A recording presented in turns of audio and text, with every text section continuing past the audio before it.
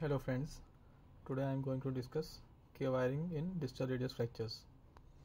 So in this animated video, I am trying to show that how to put a needle to give hematoma block.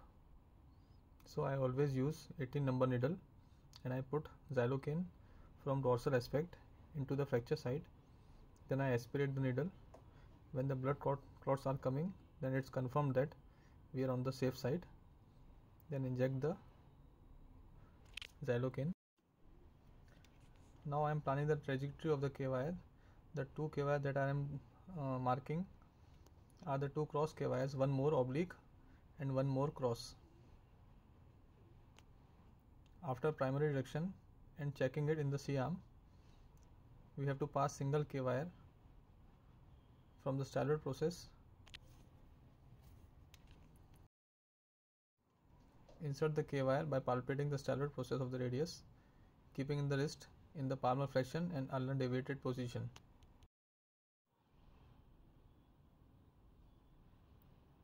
Cross check in the C arm is to be done.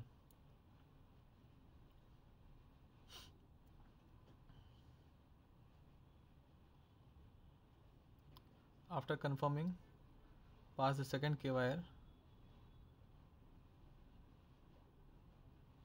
more towards the shaft.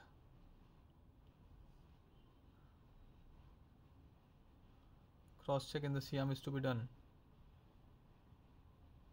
I just feel for the uh, second cortex. I am passing the K wire along the shaft of the radius so that 2K wire go in a divergent manner. Now in this animated video I am showing how to pass a K wire, third K wire from the lunate surface of the radius from dorsal to volar aspect.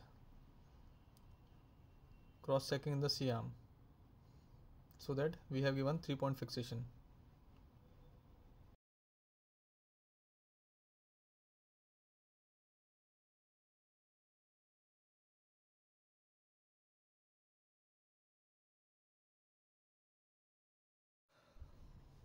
Thank you friends for your attention.